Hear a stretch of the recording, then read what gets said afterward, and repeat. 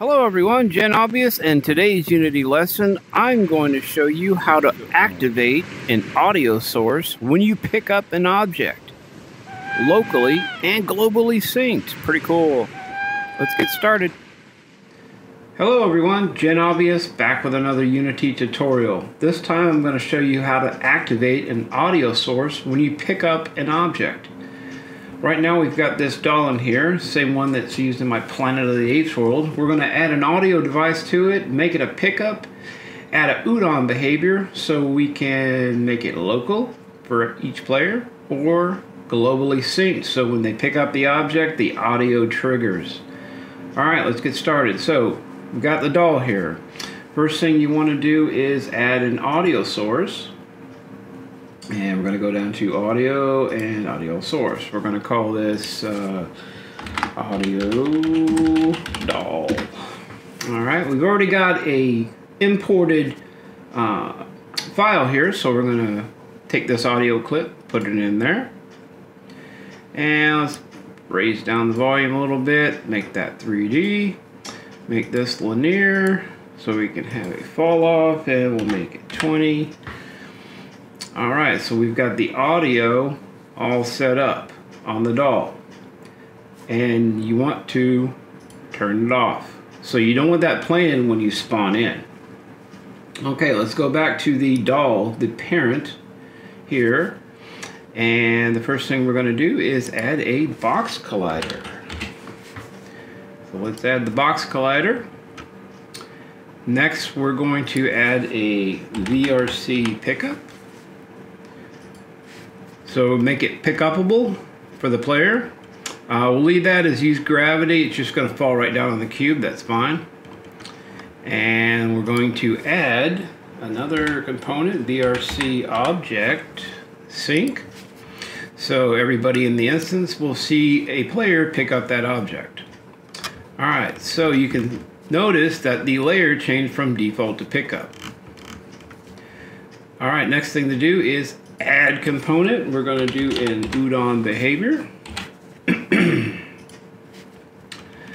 we're going to create new program. Open udon graph. All right, we're going to go up to variables. We need a game object. And let's rename this target. Make that public. Come over here to your graph right click, create node, and we're going to need an event on pickup. Event on pickup. Next, you want to create node, game object, set active. We'll need a boolean. And unary negation. Need another game object get active self. We're going to drag our target over here, connect our on pickup, connect our target, which is the going to be the audio source. Let's connect these noodles here. So we've got that part done. Next, we're going to need a event on pickup use down. And we're just going to highlight all these, right click, copy, and paste them down here. Because we're going to need it for this one. This other side, when they drop the object. Move your target back out, connect your noodles, like so. So this whole graph right here is for local for each player hit compile, scene, go back down here, you notice the target is empty. Let's drag our audio into our target. And everything looks good. Let's go ahead and save and play. Now when we pick up the object, it should play an audio.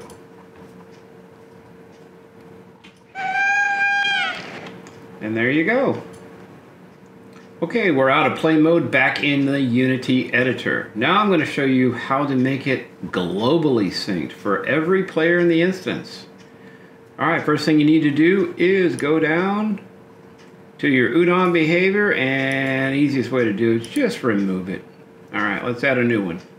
So we're gonna add component, udon behavior, new program, open udon graph, and we're gonna start up here. First thing you wanna do, go up to variable, let's do game object, rename this to target, make it public, and then you're going to start with create node and events on pickup. Next, we're going to need a send custom network event. And we're going to need a custom event, event custom.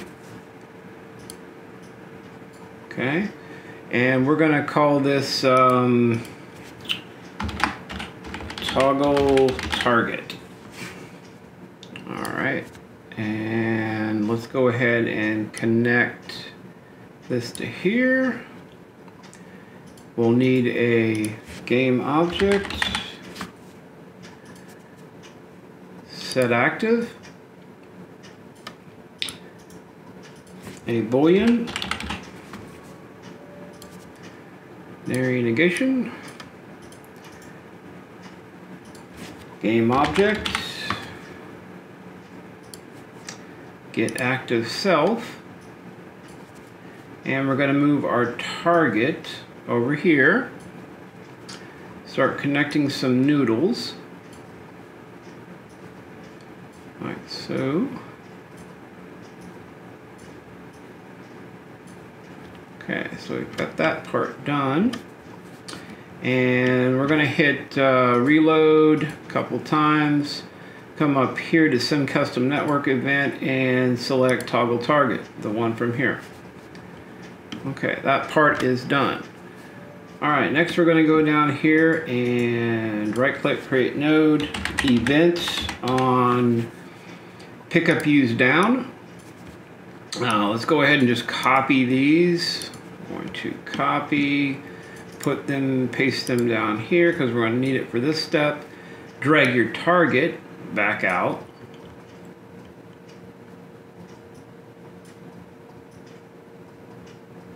And we're going to need a um, another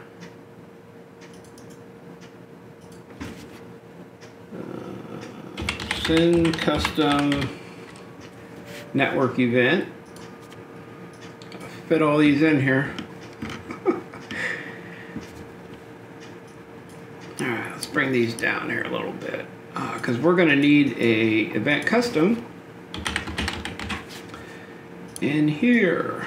And let's call this um, target down. Target down. Okay.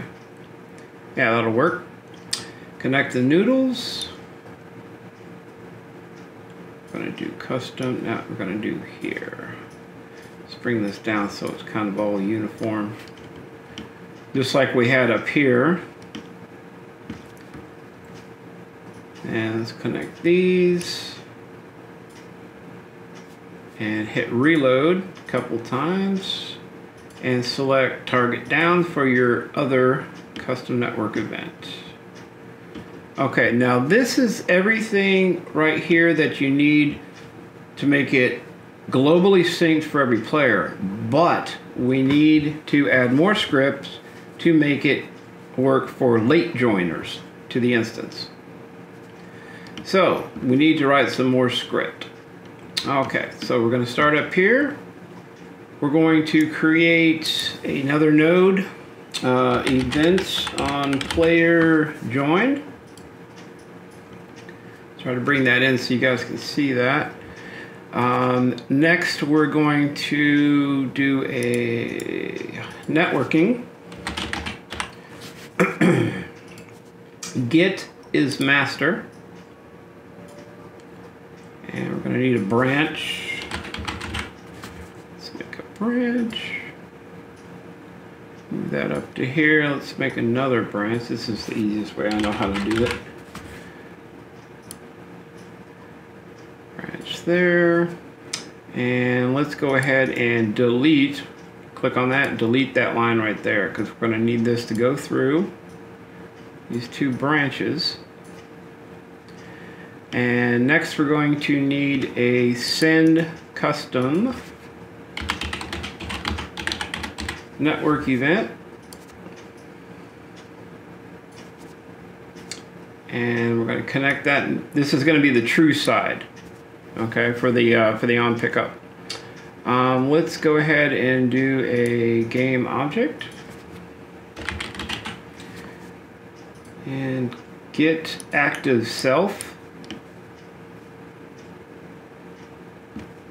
And we're going to bring our target out here, which is our audio source, going to be.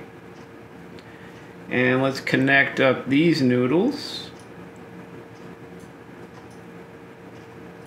This is for the true side.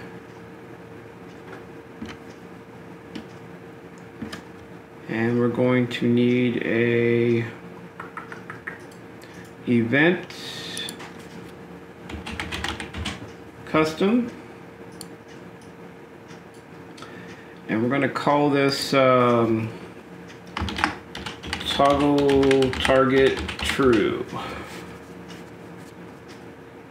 Alright, next we're going to need, and next we're going to create node, game object, um, set active, drag our target back out, connect our noodles, like so. Now we should be able to hit reload a couple times and select our toggle target true. Now we're going to make the false side for when it drops. And we're going to need a another send custom network event. And this will be the false side. Go into here. And let's move this back out again. We're going to need another event custom.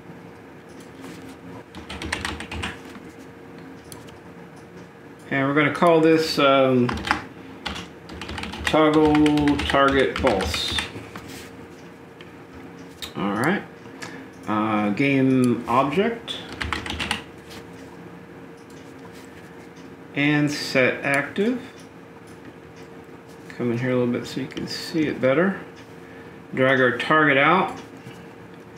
Connect our noodles. And hit reload a couple times and select target, uh, toggle target false. And on this down here, you're going to check value. Okay, leave that one blank. All right, so this is the entire script to make it globally synced for every player in the instance. We just zoom in here, give me another pan real close up. We did this side, and then we went over to the late joiner and did that script. All right, let's see, make sure it works. Oh yeah, we gotta go down here. This is the target. So we want this audio to go down here in the targets, right here in the variable. Make sure that audio is off. And I think we are set. Let's go ahead and uh, save and play. And you should hear the audio.